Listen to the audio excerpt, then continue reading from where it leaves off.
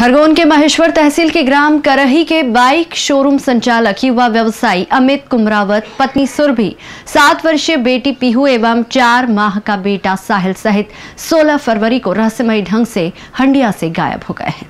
अमित का करही में Hero Honda bike का शोरूम है। वह 11 फरवरी को अपनी ससुराल सिवनी, मालवा में साली की शादी समारोह में शामिल होने परिवार के साथ गए थे।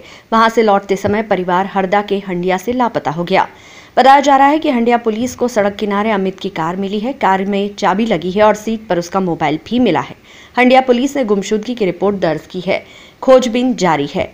छोटे भाई कपिल कुमरावत ने बताया कि बड़े भैया, भाभी व दोनों बच्चे सिवनी मालवा साली की शादी में गए थे। दो दिन बाद वापस आने के दौरान उनकी कार लावारिस हालत में हंडिया पुलिस को मिली है। दोपहर न्यूज़ के लिए महेश्वर से अशोक कुमार शाह की रिपोर्ट। मेरे भैया भाई दो दिन से लापता है। ये हंडिया में इनकी गाड़ी मिली है। दो दिनों के अभी तक मिले नहीं ये।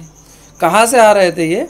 ये आ रहे थे शिवनी मालवा से इनके ससुराल तरफ़ से। किस लिए गए थे वहाँ पर? ये इनकी शादी की साली की शादी में गए थे।